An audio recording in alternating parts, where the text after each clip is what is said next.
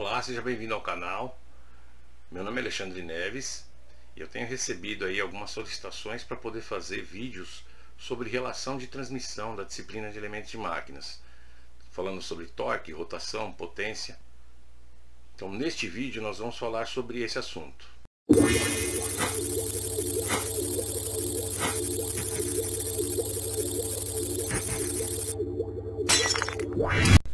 Então temos aqui um, um trem de engrenagens representado na figura possui na entrada a rotação igual a 1200 RPM no sentido anti-horário e uma potência de 10 cavalos vapor. Desprezar as perdas em cada estágio, determinar para cada estágio qual a rotação, potência e o torque disponível. Os dados dos números de dentes das rodas dentadas estão indicados na tabela. Então, falando em relação de transmissão, a gente tem que falar de torque, a gente tem que falar de rotação, a gente tem que falar de potência, né? principalmente saber se o sistema é um sistema de redução, ou um sistema de ampliação, ou um sistema de manutenção até de termos de rotação. Como aqui nós temos um sistema onde o número de dentes de cada engrenagem aí está diversificado, nós vamos ter que verificar se isso daí vai ser uma redução, uma ampliação ou uma manutenção. Outra coisa que nós precisamos definir é, no sistema, tendo ou não perdas na potência. Nesse caso, nós estamos colocando que ele não tem perdas na potência. Então, se ele não vai ter perdas na potência, nós podemos já colocar aqui que a potência que foi dada, que é de 10 cavalos, ela vai valer para cada estágio. Então, esse 10 cavalos ele vai valer tanto para a entrada, quanto para a saída, quanto para os elementos intermediários que estão aqui. Então nós podemos já transformar esses 10 cavalos em watts. Como que a gente vai fazer isso? Toda vez que a gente tem uma potência dada em cavalo vapor, a gente precisa multiplicar por 736. Se for HP, 746. Então colocando aqui que um CV é igual a 736 watts. Se for 1 HP, vai ser igual a 746 watts. A única coisa que vai alterar em termos de unidade. Como nós estamos trabalhando aqui em CV, nós vamos multiplicar tudo por 736. Então, no caso, para esse sistema, nós vamos ter uma potência aí de 10 cavalos vezes 736 watts, que vai dar 7.360 watts. Isso vai valer para todos os estágios. Agora nós vamos ter que fazer a verificação em termos de rotação. Melhor calcular sempre no início o, o, a rotação em cada estágio para poder ver se vai ter uma ampliação ou redução ou manutenção de rotação. Então, aqui já foi dito que essa roda ela gira no sentido anti-horário. Então aqui eu estou indicando que N2 está no sentido anti-horário.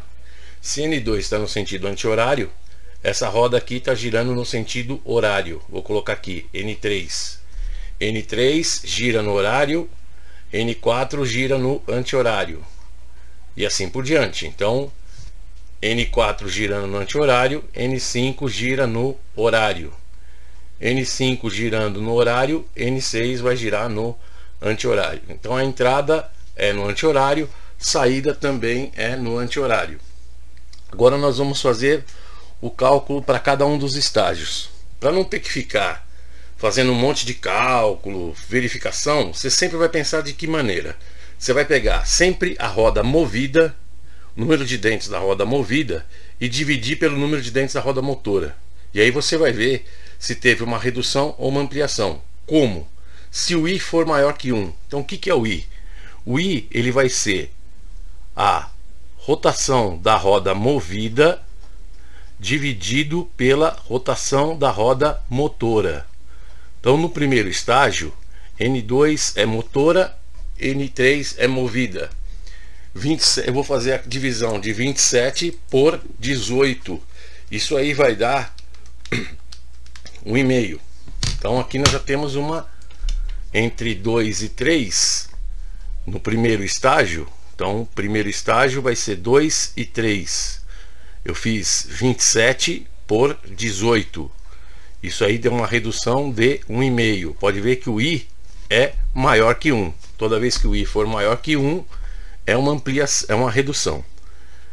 Toda vez que o i for maior que 1, nós temos uma redução.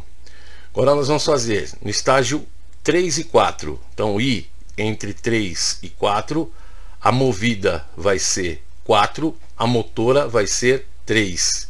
Então vai ser 54 dividido por 27. Então nós temos um i igual a 2. Outra vez nós temos uma redução de duas vezes. No, estágio, no terceiro estágio, que seria entre 4 e 5, então i entre 4 e 5, eu vou pegar o número de dentes da roda 5, vou dividir pelo número de dentes da roda 4.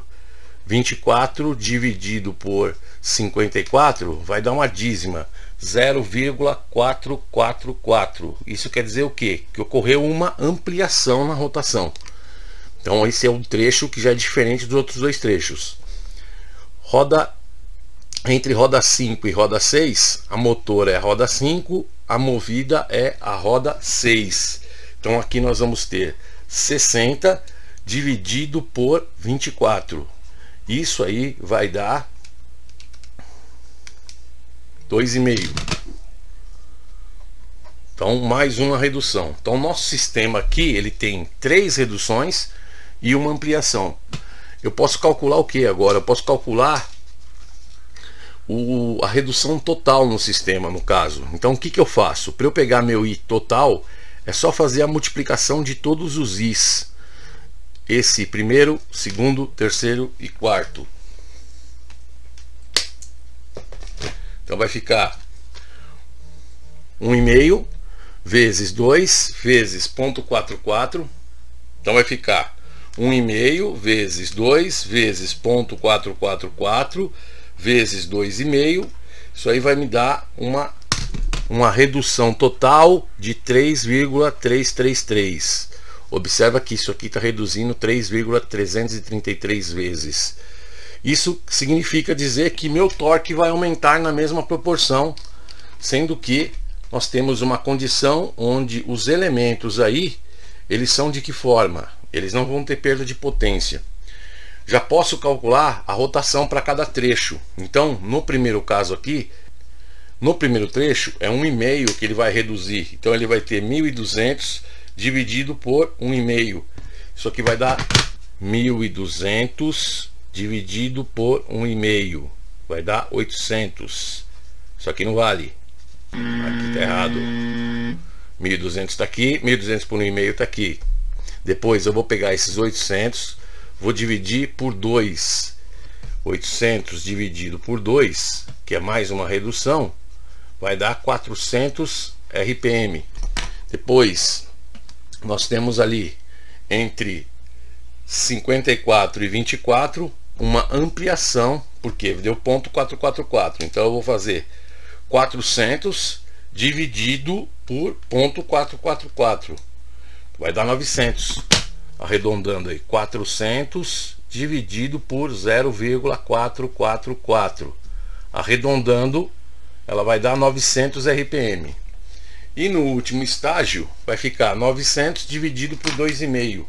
Então, 900 dividido por 2,5, nós vamos ter aqui uma rotação de 360 RPM. Abandona esse cara aqui, que isso aqui não é divisão não. O que vale aqui nessa rotação é o 1200. Só vai começar a contar a partir desta linha. Torque. Vamos calcular o torque na entrada. Então, o torque na entrada, nós temos que pegar a equação de potência, que diz o que? Potência vai ser igual a 2π vezes a rotação vezes o torque dividido por 60, porque nós temos uma rotação em RPM. Para poder obter o torque, nós vamos fazer o que?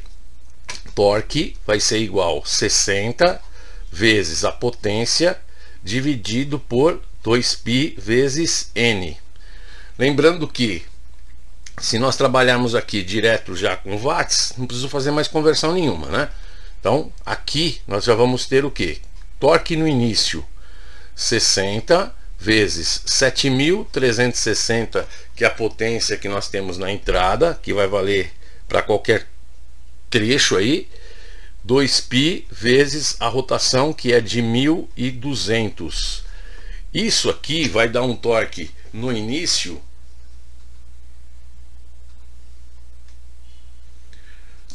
Então, o torque que nós vamos ter aqui no início vai ser de 58.569 Newton metro.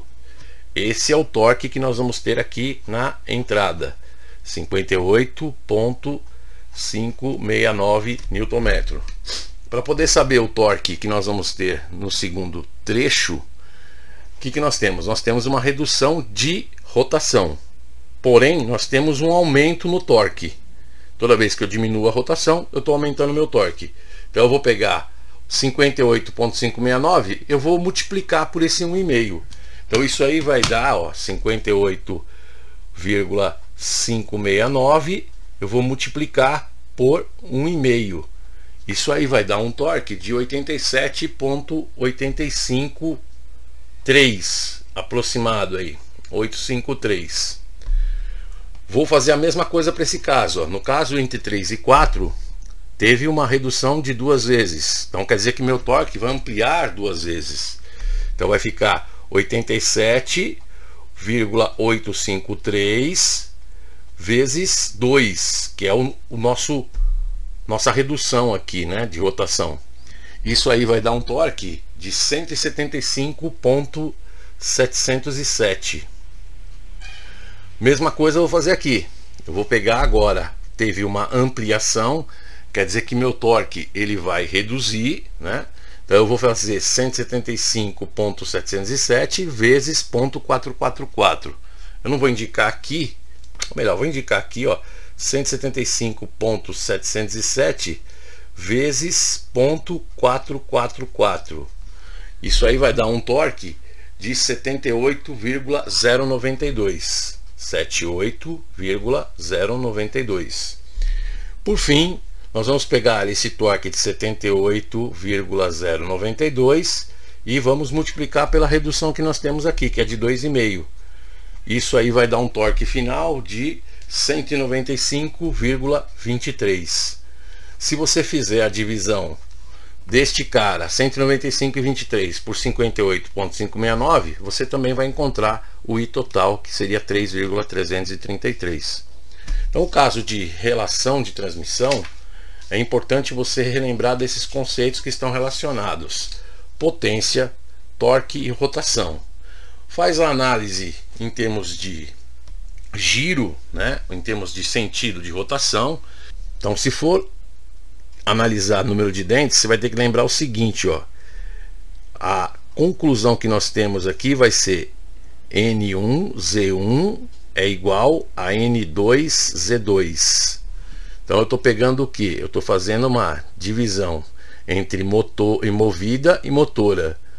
Então eu vou ter aqui N1, vou passar esse N2 para cá, vou passar esse Z1 para outro lado, e aí nós vamos ter o que? Nós vamos ter a inversão, ó. N da motora por N da movida, Z da movida por Z da motora. Então você sempre guardando essa proporção, você consegue calcular a relação de transmissão. No caso do torque, a mesma coisa. Lembrando que toda vez que o torque reduz, a rotação aumenta e vice-versa. Espero que tenha atendido aí para poder tirar as dúvidas de quem enviou com relação a essa parte de relação de transmissão. Se vocês gostaram do vídeo, deixe o like de vocês. Não esquece de fazer inscrição no canal para mais novidades e até o próximo vídeo.